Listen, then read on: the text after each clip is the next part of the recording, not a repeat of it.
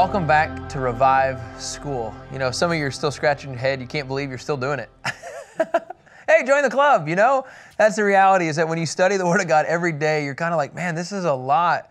It takes some crazy discipline. And hopefully, in this discipline, whatever the format you're learning, maybe by you're reading by yourself and the Holy Spirit speaking to you, maybe it's through this video, maybe it's through Kevin and getting all of his accurate numbers correctly you know, whatever it is, hopefully you're being encouraged some way. Maybe it's just simply by looking at Mindy's painting and the Holy Spirit speaks to you through Mindy's painting. You know, whatever it is, our prayer is that you just want to grow, grow closer to the Lord in this whole process. That, that's really our desire. And then as a result, the people around you will, will continue to see a change. They'll see the light that's inside of you and they'll want what you have. And that's why we're going through this verse by verse at times and, you know, story by story. And you know, we radically want to see this nation turn to the Lord. We want to radically see the country that you're from turn to the Messiah. And so, my prayer is that, that, even from Matthew 12, we would learn some lessons from the Israelites. And so, you know, just yesterday we, we talked about John the Baptist. and John the Baptist, you know, is he Elijah or is he not Elijah? Well, we learned that in Matthew 11 14, Kevin, if you'll go there, we learned that there was a chance that he could have been the fulfillment of Malachi 4 5 if they would have embraced the gospel message, if they would have embraced the, the, the, kingdom of heaven message and then embraced John, John the Baptist's words, he then would have been Elijah. But they didn't. They said no. And so what you're in is from Matthew 10 all the way up to really Matthew 28. The Jews just continue to say no to the king, King Jesus. So as you go into Matthew 12, just so you know, that's kind of the, the process of, of where we are at. But I'm going to jump really in the middle of Matthew 12 because of time. He's constantly having interactions, okay, in Matthew 12 with the religious, okay? He's talking about being the Lord of the Sabbath. He's talking about healings with the, the paralyzed hands. He's talking about he is serving as a servant of the Lord, but then he even gets into the whole house divided, right? You, you got to find your allegiance. You can't go one way or the other. We talk about the fruits, but really where I want to go to is in some of your Bibles, it might be listed the sign of Jonah. You're like, wait a minute, Jonah? Jonah, that's in the Old Testament. Yeah, we're going to be talking about two stories. Sorry, can't get away from this. The Old Testament today. So in Matthew 12, verse 38, it says this Then some of the scribes and Pharisees, they said to him, Teacher. And I love how, you know, they always have different titles Rabbi, teacher, you know. Uh, in some, some contexts, you know, the centurion, right? The guy in charge of 100 soldiers, uh, he, he said, Lord, right? And so he says, Teacher, we want to see a sign from you. Now, look, it's a setup. Have you guys ever had these kind of setups before? Like, remember King Herod? Remember how he said, Hey, hey, hey, wise men, go find the star so I can come worship Jesus, so I can worship the King of Jews. Man, it's all set up. It's a lie. Do you really think these guys want to see a sign from Jesus? No, they just want to catch him somehow doing something wrong. you know, that, yeah, that, that's it. In fact, uh, Stanley Toussaint, you know, he was one of my former professors at Dallas Seminary. He says, although their rejection of the, the king is, it's certain. Like we already know that the rejection is going to be certain. The scribes and the Pharisees, they approach the king, though, in an antagonistic unbelief, and they want to seek a sign from him. And it's just like, hey, let's just play this game. Let's just stir the pot some more. And that's really what you see in verse 38. And in fact, they believe that uh, the Jews believe that there's nobody that could, is going to produce a sign right now. They don't expect it. And so in verse 39, after they said, We want to see a sign, okay, ready for this? Well, let me just say this. They, if they do want a sign, it better be of an astronomical, as John MacArthur says, proportion. Like what we see, if you're really going to show up and produce, it better be the best thing of all things. So there's, there's really no way he's going to win. Throughout scriptures, they describe the, the wonderful Pharisees and the Sadducees and the religious as they're looking for these signs. In fact, Kevin, if you'll go to Luke 11, verse 16. Luke 11, verse 16, just it talks about this, this mindset and, and others as a test. We're demanding of him a sign from heaven. Like, this is how drastic it is, right? We're not just talking like a road sign that says, Jesus. You know, we're not looking for a, a road sign that just says, yep, this is the sign you're looking for. Can you imagine if they had that in Israel at the time? no, they wanted something drastic, you know, a, a, sign from heaven. One more, Kevin, if you would, go to 1 Corinthians 1 22. 1 Corinthians 1 22. This is the sign, okay? They're constantly looking for signs. 1 Corinthians 1 22 says, For the Jews ask for signs, and the Greeks seek wisdom. It's just kind of what the Jews are they want. They want signs and they want it to be big. And they I'm telling you you better you better make sure it's right. And unbelievers, okay, they seek a sign just for sign's sake. But one commentator says a believer though will seek a sign for authentic authentication. Okay, see make the difference? There's a big difference in, in all of this. And even more so is that God at times granted signs to uh, his people in the past but he did it to strengthen uh, their weak faith. Abraham, he needed a sign. Uh, Joshua, he needed a sign. Gideon, Gideon needed a couple signs. But that was really just to bolster up their faith. It wasn't to say, hey, prove it to me. It was just, God, I just need to know affirmation. Can you just show me a little bit more in this? So when Jesus, in verse 39, when he hears the Jews basically giving him lip service, he says, He answered them, an evil and adulterous generation demands a sign. So there's going to be no sign given to you except the sign. You ready for this? Oh, except the sign of the prophet Jonah. I'd be like, wait, what? Let's back up here. He calls them an evil and adulterous generation. Whenever you think of the Old Testament and the Pentateuch, do you not think of the Jewish people constantly committing spiritual adultery? Do you know what I mean? Like they're constant, like, oh yeah, let's go to the foreign gods. Oh, yeah, let's marry some uh, uh, uh, women of different ethnicities. Let's follow their false gods. And then, okay, we're sorry, God, and then they come back. It's just this ongoing spiritual adultery. And that's what you see in Scripture. In Jeremiah 3, verse 10, if you'll go there, let's go through a couple of the prophets talking about how this is how the Israelites were. And Jesus was just really reiterating that. Yet, in spite of all, this is Jeremiah 3:10. In spite of all of this, her treacherous sister Judah didn't return to me with all her heart only in pretense. This is the Lord's declaration. One more, a couple more. Hosea 7, verse 13. It was kind of like, ah, I'm coming, kind of, right? Woe to them, for they fled from me. Destruction to them, for they rebelled against me. Though I want to redeem them, they speak lies against me. Verse 14. They do not cry to me from their hearts. Rather, they wail on their beds. They slash themselves for grain and wine, and they turn away from me. In verse 15. I trained and strengthened their arms, but they plot evil against me in verse 16. They turn, but not to what is above. They are like a faulty bow. Their leaders will fall by the sword because of the cursing of their tongue. They will be ridiculed for this in the land of Egypt. Here you have prophets describing the adulterous lifestyle of, of their spiritual life. Just for one more, go to Isaiah 57, verse 3. When Jesus calls them an evil and adulterous generation, he's really just emphasizing how they've been in the past. But come here, you sons of a sorceress, offspring of an adulterer and a prostitute. Who is it you are mocking? Who is it you're opening your mouth and sticking out your tongue at? Isn't it you, you rebellious children, you race of liars, who will burn with lust among the oaks, under every flourishing tree, who slaughtered children in the wadis below the clefts of the rocks? Verse 6, the prophet's just getting going. Your portion is among the smooth stones of the wadi. Indeed, they are your lot. You've even poured out a drink offering to them. You've offered a grain offering. Should I be satisfied with these? Verse 7. You've placed your bed on a high and lofty mountain. You also went up there to offer sacrifice. And then in verse 8, You've set up your memorial behind the door and doorpost, for away from me you stripped, went up, made your bed wide, and you have made a bargain, bargain for yourself with them. You have loved their bed, and you have gazed on their genitals. Whoa. So then he begins to unfold in verse 40.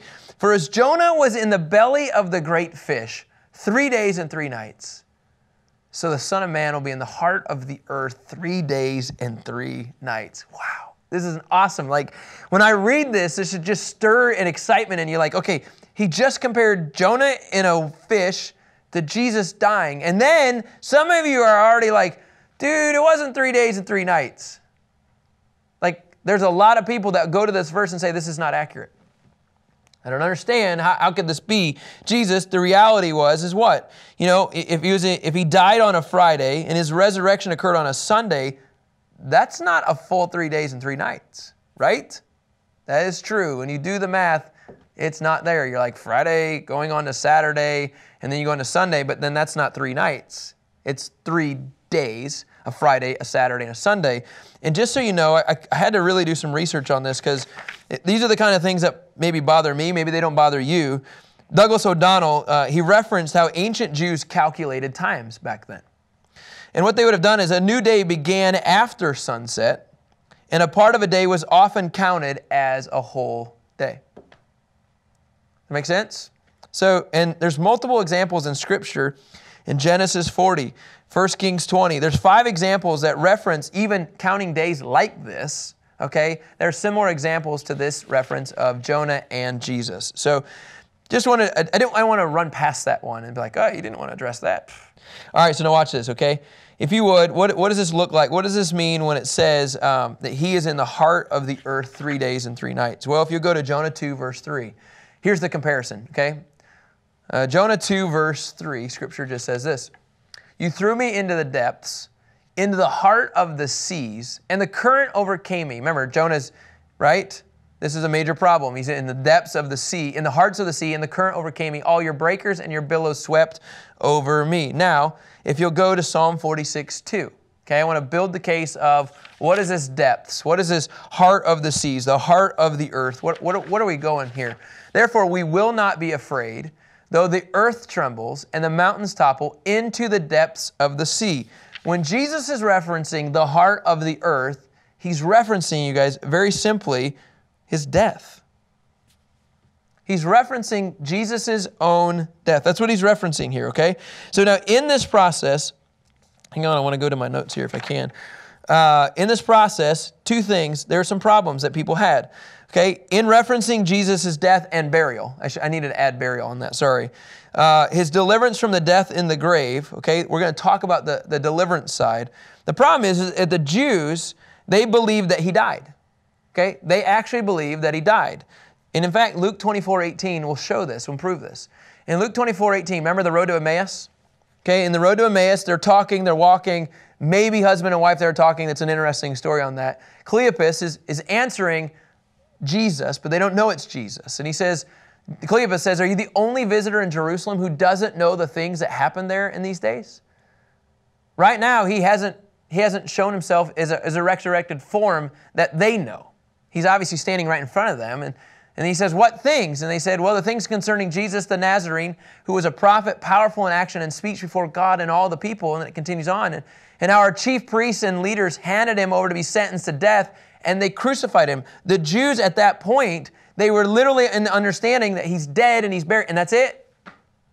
So they're keeping in a posture of death. They didn't believe that Jesus came to life.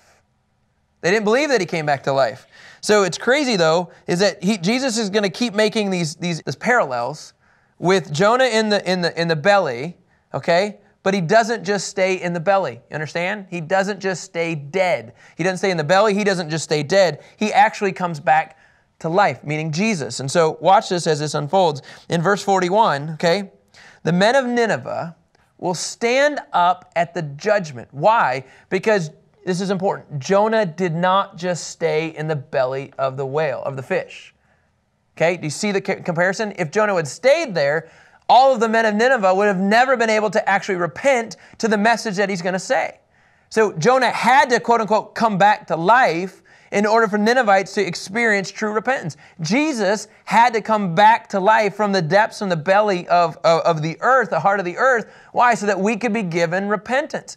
And so the comparison is this that the men of Nineveh will stand up at the, at the judgment with this generation.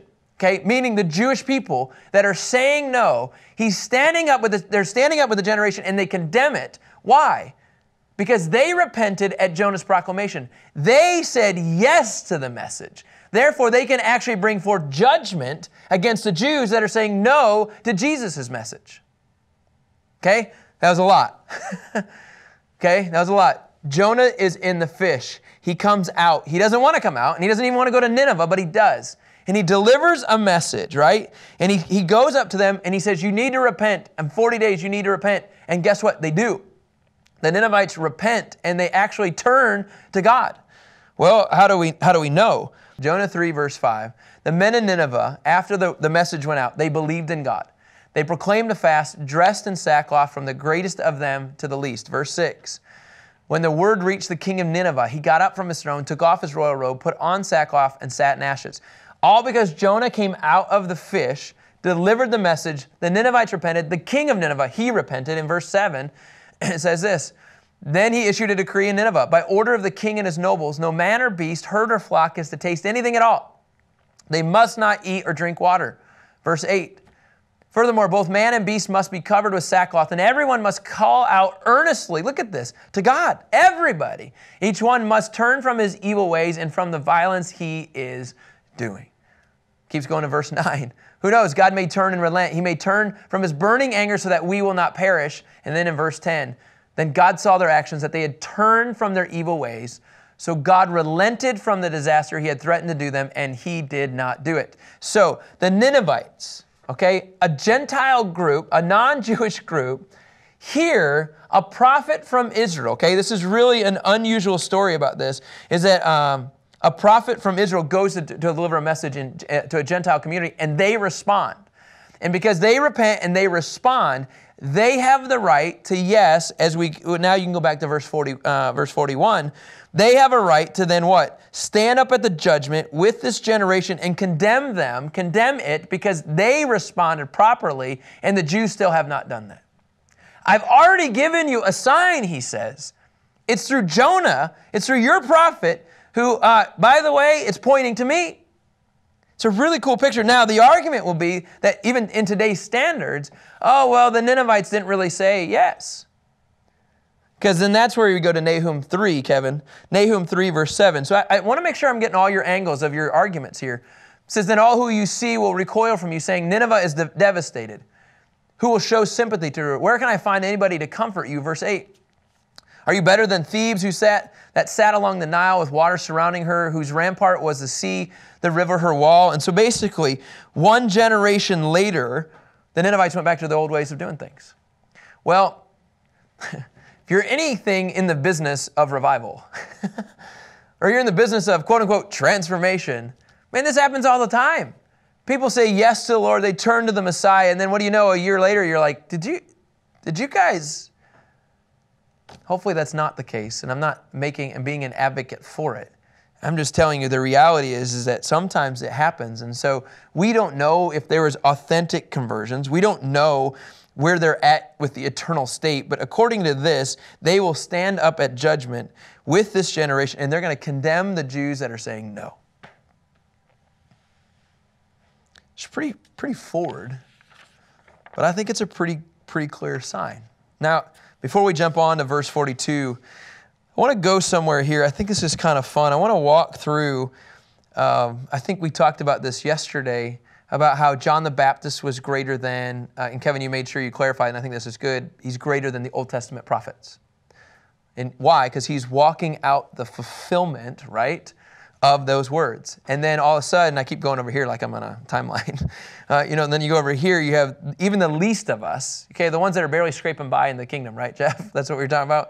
Those, us, were greater than John the Baptist because we're walking out the message, the prophetic word that he's releasing that we get to embrace. Okay, does that make sense? So now where I want to go with this is why is Jesus greater than Jonah? Okay, that's where I want to go a little bit here. Obviously, we've we've talked about it, we've shown the stories, but why is Jesus greater than Jonah? Again, I love what uh, Dr. Tom Constable says. I love what John MacArthur says about this. Well, one is is that I'm going to just kind of just, he's greater in his person because Mo- Jonah was a mere man, but even Jesus in his just being a person was greater. I, will kind of break this down, but I want to walk you through this. In his, he's greater in his pers- purpose, person, excuse me, for Jonah was a mere man. Okay, Jesus was greater in his obedience. For Jonah, what did he do? He disobeyed. He disobeyed God and then was chastened. Jesus actually died. That's a big deal. Jonah just sat in the belly of a fish. So Jonah didn't actually die. So, I mean, you could actually even say through Jesus' death, that was greater than Jonah's not dying. Jesus arose from the dead under his own power. I just, I, I, I just, I love that. Um, I don't know. I don't always have one words for these things. We'll just put arose from the dead. Jonah didn't do that. uh, this is an interesting one.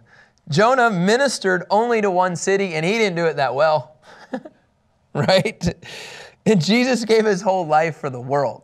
And you're like, oh, that's a good Jesus one, right? He gave his life for the world. Jonah had, you know, one city. He's got the whole world in his hands. Jonah's got one city. All right, so another one is, is that Jesus' love was greater because Jonah, he didn't love the Ninevites at all. so Jesus' love was greater, right? I think that's an awesome one. Uh, and then uh, uh, Jonah's message saved Nineveh, Nineveh from judgment and the wrath of God. Uh, and I think that's a, an incredible, powerful message. But then Jesus has the message of salvation. So, all of the above, what you see is that Jesus is greater. But I, I do think it's a pretty cool comparison in what you see. There, there's a whole lot more. And I think one of the things I'm trying to, to teach each one of us more and more in this is that slow down and observe the scriptures. You'll get more of this if you just camp out on the scriptures. Say, how is Jesus greater than Jonah? You, you could come up with a lot more, I'm sure, of your list. Um, so anyway, there we are. Now let's go to verse 42, and this is how we're going to wrap it up. Because we just we just talked about the sign of Jonah, and remember this whole conversation started with you know uh, the religious wanted um, a sign, like hey teacher, would you please show us a sign? And then he called them an evil and adulterous generation, and he says no sign for you. And he says by the way, you're not going to get it through through me, but you're going to get it through Jonah. And oh, I'll give you one more. Verse 42 it says the queen of the south will rise up at the judgment with this generation and condemn it. Because she came from the ends of the earth to hear the wisdom of Solomon. And look, something greater than Solomon is here. So now you almost have to just be like, okay, okay, I'm done with that comparison of Jesus and Jonah. Now, now we got to do a comparison of Jesus and Solomon. Okay, let's just kind of unpack. First of all, the queen of the south is who? Isn't it the Queen Sheba? Sheba, you got it. Queen of Sheba. Uh, actual historical figure. Uh, they would say Sheba was um, from the Arabian Peninsula. And the Jews would have labeled the Arabian Peninsula as like the ends of the earth. Uh, Kevin, can you go to Jeremiah 6 20? Now think about this, and that's kind of important. Somebody that came from the ends of the earth to come check out their king. Right? So they came a long way. So here it is in Jeremiah 6:20. What used to me is frankincense from Sheba or sweet cane from a distant land. Whenever you think of Sheba, you think it's not even close to here. So now the queen of Sheba hears about this incredible man named Solomon. So would you go to 1 Kings chapter 10 verse 1. The queen of Sheba, she heard about Solomon's fame and connected with the name of Yahweh and came to test him with difficult questions. Verse 2. She came to Jerusalem with a very large entourage, with camels bearing spices, gold in great abundance, and precious stones. So, like, she came to bless him, right? But also to test him. She came to Solomon and she spoke to him about everything that was on her mind. Now, this is a queen, okay? So she's not like this, you know, somebody just off the street. Like, she knows she's got her act together. Verse 3, it says this So Solomon answered all her questions, and nothing was too difficult for the king to explain to her. Verse 4, when the queen of Sheba observed all of Solomon's wisdom, the palace that he had built, verse 5, the food at his table, his servants' residence, his attendant service, and their attire. Like even his attendants, they, they dress nice. His cupbearers and the burnt offerings he offered at the Lord's temple, it took her breath away. Verse 6, she said to the king, The report I heard in my own country about your words and about your wisdom is true. Verse 7, but I didn't believe the reports until I came and I saw with my own eyes. You know, right away, it just kind of makes me think of uh, uh, John the Baptist's disciples.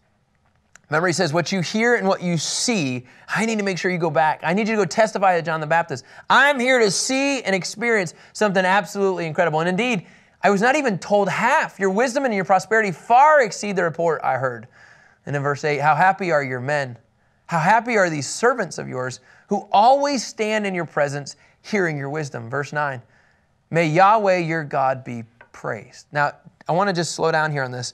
You understand that because of Jonah, and then he got spit out of the fish, and then he goes around saying, Repent, or God's going to destroy you. They do, right? And then what do they do? The king actually turns and requires everybody to fast and everybody to, to turn to the Lord, right? So, exactly what happens here because of Solomon and all of his greatness and his wisdom and everything that he has, because of what he's been given, may Yahweh your God be praised. Queen Sheba then actually worships and turns to God. He delighted in you and put you on the throne of Israel because of the Lord's eternal love for Israel. He has made you king to carry out justice and righteousness. Verse 10. Then she gave the king four and a half tons of gold, a great quantity of spices and precious stones. Never again did such a quantity of spices arrive as those the queen of Sheba gave to King Solomon. Here you have Gentiles are responding to God. Both groups, Ninevites, Queen Sheba, are responding, and the Jewish people choose not to respond. The Jewish people refuse to re- respond to this message of the kingdom of God at hand. And Jesus says, I've already given you signs that point to me. In Jonah's situation, I've already proven I'm greater than him. And now in, in the Solomon situation, and look, something greater than Solomon is here, and it is, it's me. They don't want to sign. They don't want to sign at all. The craziest, the weirdest thing about what I'm going to say is, is because they didn't want it, we got it. So, in a weird way, I'm saying, praise God, they said no, so that we could have life. But my prayer is, at one point, they will see Zechariah 10, 12 10 come to fruition. They will actually mourn over the signs that they've been given. They'll mourn over the one that they have actually pierced. And they'll mourn as such as they've, they've, they've, they're mourning for their only child. They'll weep bitterly for the one as that they are missing. And I'm telling you, Jesus says, I've given you the signs. When will you realize I'm right in front of you? You know, Jesus is greater than Jonah. Jesus is greater than Solomon. Why is Jesus greater than Solomon? Well, one, he's greater than his wisdom, wealth, and works. Okay, I think that's kind of an obvious one. Uh, I'm just going to shorten it and just put Jesus has more wisdom because he gave it to, to Solomon. And I love that Queen Sheba was amazed at Solomon's kingdom, but what we have in the kingdom of God far surpasses Solomon's kingdom. And so I'll just say Jesus' kingdom offers a lot more. And then I think this is cool. The last point is this the commentator says, to sit at Christ's table and hear his words and share his blessings, they're more satisfying than ever to, to visit and admire the most spectacular kingdom, even Solomon's. When you get to sit at the table with Jesus, I promise you, you'll know it's greater. You know, the Jews wanted signs, and he says, I've given it to you. Through Jonah, through Queen Sheba, through the Ninevites, through Solomon, I've given it to you. The question is, is do you really want that sign? You know, as an application, all I want to say is, is that some of you right now today, you're trying to make a decision and you're asking for more signs. Don't ask for signs, honestly, to test him. Okay? Only ask if you need it for an affirmation for the next step. It's kind of the beauty of all this. Jesus says, I want to speak to you. I want to, I want to respond to you. Just come and talk to me. There's a lot more to Matthew 12 in the beginning and at the end, but hopefully you guys continue to read the word and the Lord will continue to show more and more every day. Thanks, guys.